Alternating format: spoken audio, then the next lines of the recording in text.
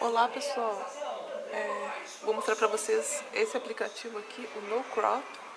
É um aplicativo é, para cortar, para deixar no tamanho certo a foto para colocar no Instagram, para deixar no formato quadrado, aquela foto que você quer deixar é, inteira. Então vou pegar uma aqui no Então álbum. eu escolhi essa foto aqui do meu álbum.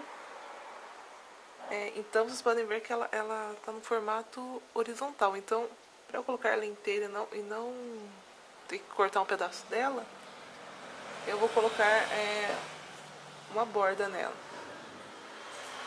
É, então aqui eu posso escolher que tipo de borda que eu quero. Tem essas bordas aqui estampadinhas, ó, de pedrinha. Posso pôr lisa também, aqui. É, posso mover aqui, ah, posso deixar no meio. É, posso pôr aquele efeito blur, que é quando a foto do fica a foto no fundo com é, desfocada.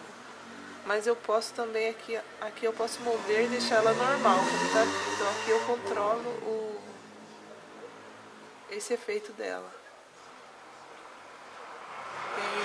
Esse aqui também que deixa ela é, aquela quadriculada. Bom, então eu vou escolher esse efeito aqui, o blur. Muito bem. É... Agora eu posso também é, aplicar vários efeitos na foto. Aqui né, nessa varinha aqui eu posso escolher um filtro, colocar que nem aqueles filtros do Instagram, né? eu coloco vários por exemplo, eu vou escolher, é, vou escolher esse, esse escuro aqui. Também, outra opção bem legal, eu posso colocar adesivos. Vou pegar um adesivo aqui. É, deixa eu voltar aqui. Por adesivinhos. Deixa eu pegar esse aqui de coração. Aqui estrelinha. Várias coisinhas. Vou pegar essa estrelinha aqui. Eu tenho um bus. Aí eu posso colocar. É, dá para escrever texto também, vem aqui no T.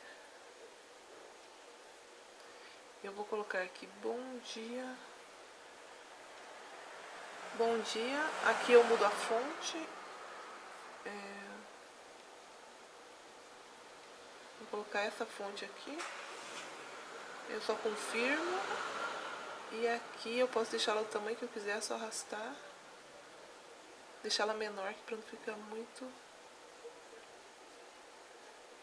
Vejamos então. E aqui nesse último nessa última opção aqui da lâmpada tem um efeito bem legal de luz.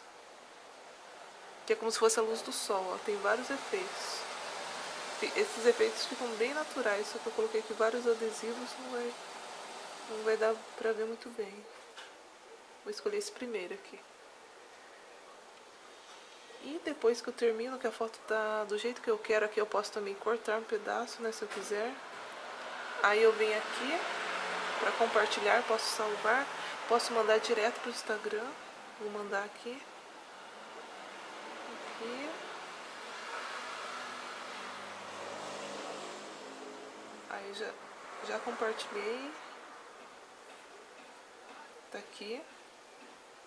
É, outro recurso que tem nesse aplicativo é você pode fazer colagens, que são aquelas montagens de foto.